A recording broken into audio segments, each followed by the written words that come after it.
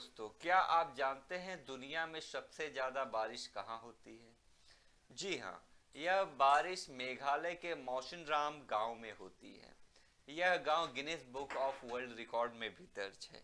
इससे पहले चेरा पूंजी में सबसे ज़्यादा बारिश होती थी।